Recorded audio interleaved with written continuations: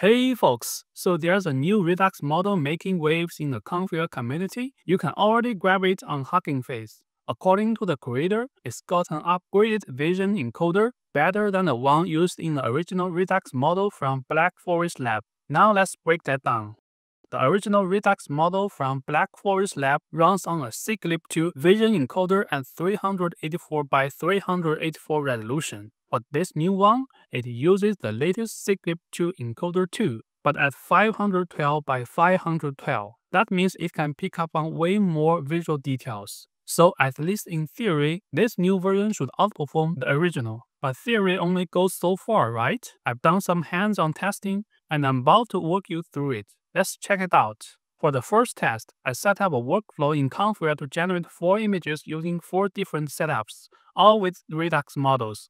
The idea was to recreate a reference image and see which method nails it best. We adjust them based on how close each one gets to the original. To start off, I used the Pixel Wave diffusion model for the first two images. That model is basically a fine-tuned version of Flux.1 dev from Black Forest Lab. The diffusion part stays the same in both cases. The only thing I swapped out was a Redux model. So the first Redux model I used is the one from Black Forest Lab called Flux1 Redux Dev. The second one is that the new model I mentioned earlier, Flex1 Redux SIGLIP 2512. Now yeah, I know, Flux and Flex sound super similar, so let me clear that up. This model is called Flex because it actually trained off a different base. It started from something called Flex.1 Alpha. While it's structurally a lot like Flux.1 Dev, it originally came from Flux.1 Schnell, which runs under an Apache 2.0 license. That's the key part. It keeps the model open and free to use. The original Flux.1 dev, that runs under a non-commercial license. So this Flex version gives people a lot of more freedom. Alright, let's jump back into ComfyUI. So the name Flex1 Redux SIGLIP to 512 pretty much says it all. This model is using the new SIGLIP2 vision encoder and it runs at 512 by 512 resolution. To make it work in ComfyUI, the creator developed a new node called Load Advanced Vision Model. The older node, the one made for 384 resolution, is still called Load Clip Vision. Quick tip though, in my testing, the old Load Clip Vision node actually works fine with the new Flex Redux Model 2. They function pretty much the same way. Alright, let's move on to the next group of nodes that help generate our last two images. The key difference here is that this group uses Nunchaku, the latest tag for accelerating image generation, which I covered in my last video. If you missed that one, don't worry, I'll drop the link in the description below. Here's the cool part. When I ran this setup using the SVD Quant model with both Redux models, it was about 5 times faster than the last group. That's a massive speed boost. Now let's switch gear to a different workflow so we can compare all four of our final images side by side. So here's what we are looking at. The four images on the left are all generated to match the original image on the right.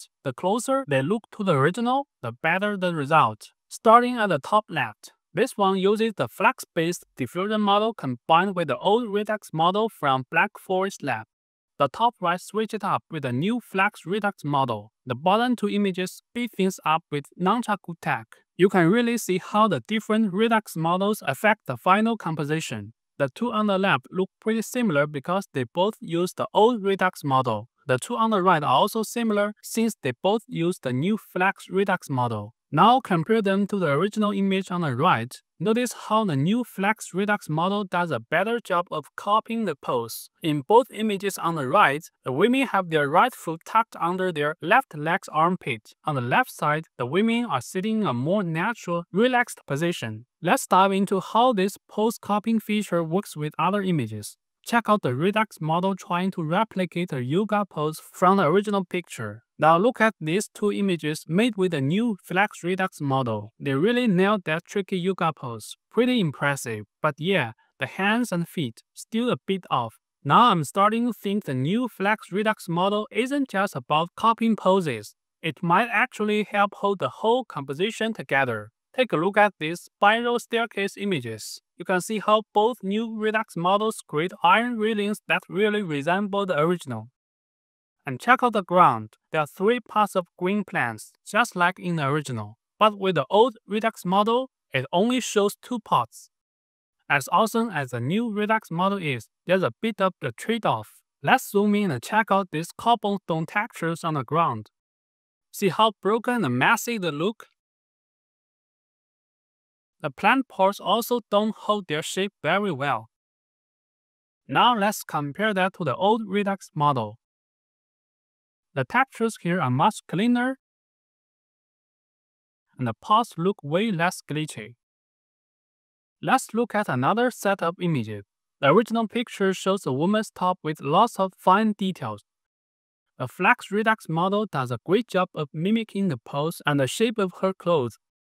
But when we zoom in, we notice something's missing. The small intricate details in the clothing are mostly gone. Now let's check the image from the older Redux model. Here the shape of the clothes is a lot different from the original. But if we zoom in, we can actually see more of those fine details preserved. The bottom two images are from Nunchaku.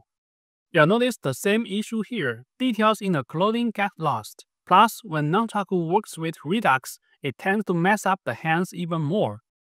If these examples aren't enough, let's go back to those staircase images from earlier. See how the texture gets totally scrambled in the Nunchaku and the Flex Redux versions? It's a pretty noticeable difference.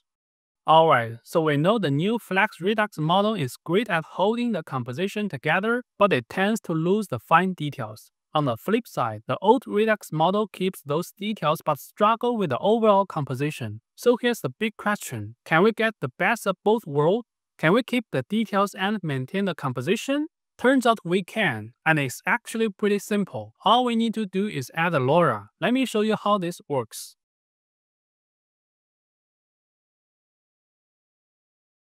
This setup still uses the old Vision encoder with a 384 by 384 resolution, and it runs the original Redux model from Black Forest Lab. But here's the key change. I've added two important nodes, the depth LoRa and the instruct pix-to-pix conditioning node. Here's the deal. The pixel port of the instruct pix-to-pix conditioning node pulls in a depth map, which comes from this part of the workflow. That depth map helps lock in the composition, making sure everything stays in place.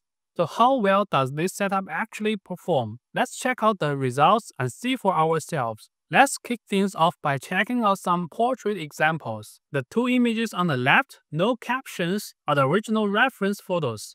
The top right image comes from the workflow I just showed you. It uses the old Redux model but with an added depth LoRa from Black Forest Lab. The bottom right image is created with a new Flex Redux model and the latest SIGLIP 2 vision encoder at a higher 512 by 512 resolution. Now take a look at this. The old Redux model with the depth LoRa actually does a better job keeping the pose close to the original. Honestly, it pulls it out better than the bottom image. If you zoom in on the details, you can see that the woman's bands, her sleeveless vest, and even the tassels on her jeans all match the original reference. But in the bottom image, there are no bands, a mid-sleeve suit instead of a sleeveless vest, and no fringe on the jeans. You can really see the difference. Let's move on to another set of portraits. This time, the gap between the models is even bigger. The old Redux model keeps the pose consistent, while the new one, well, it kinda misses the mark.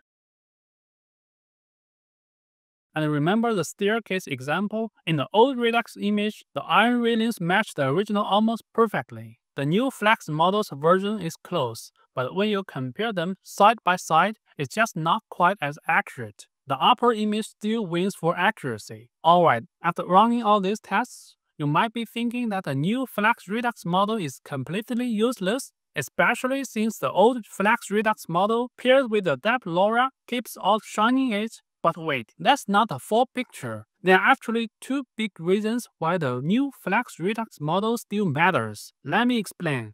First up, the licensing. This new Flex Redux model is totally free for commercial use. It's under the Apache 2.0 license. That's a huge difference compared to the old Redux model from Black Forest Lab, which has a non-commercial license. So if you're using AI art to make money, this new model gives you way more freedom. Second, let's talk about the training. The Flex Redux model was trained from scratch using the Flex.1 alpha model. created by the same developer. That checkpoint is also free to use, which is awesome. Now I haven't tested myself because the file is massive. We are talking almost 22 gigabytes. But here's the thing, when paired with the new Redux model, it might actually perform better. And get this, both models were trained entirely out of the author's own pocket. No big corporate backing, just pure dedication. If you like what he's doing, you can support him directly on GitHub or Patreon. Hold on though, don't click away yet. Here's the thing, the old Redux model combined with depth LoRa has a big flaw. It's tricky to use for inpainting, and that's a problem because one of the Redux model's biggest strengths is its support for inpainting. So if you want more control over your composition when doing inpainting, the new Flex Redux model is probably your best bet. Here's what we are going to do. We'll swap out the woman in this portrait with the woman from this image that has a white background. I actually shared the workflow for this exactly test in one of my earlier videos. Check the video description for the link. But for now, let's jump in and see how it works with the new model. Now we move the woman from the plain white background to the street scene on the right. But surprisingly, the new Flex model didn't do as well as I expected when it came to copying the original pose. The older Redux model actually did a much better job of keeping the pose close to the reference. Let's check out another set of images. Same story. Flex Redux struggled to match the pose and even messed up the hand. On the other hand, the old Redux model nailed it. I also tested both models with the ACE Plus Subject LoRa. The idea here was to swap this outfit onto the woman in the bikini. This time, the Flex Redux model didn't manage to replicate the delineate shorts properly, and it even messed up the text on the t-shirt. The old Redux model wasn't perfect either, but it did much better. It swapped the shorts correctly and kept the text on the t-shirt intact. Other examples show the same trend. What's really cool about the ACE Plus Subject LoRa is that it can recognize the inner lining of the skirt and knows it shouldn't be part of the virtual try-on.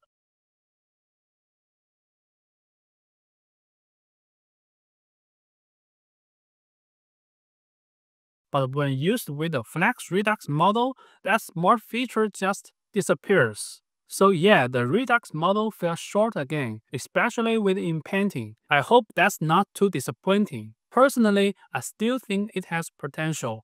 I just need to dive deeper into it. Maybe I'll even share a workflow in a future video that really takes advantage of it. Stay tuned. Thanks for sticking with me through all these tests. I hope you learned something useful. Catch you in the next video.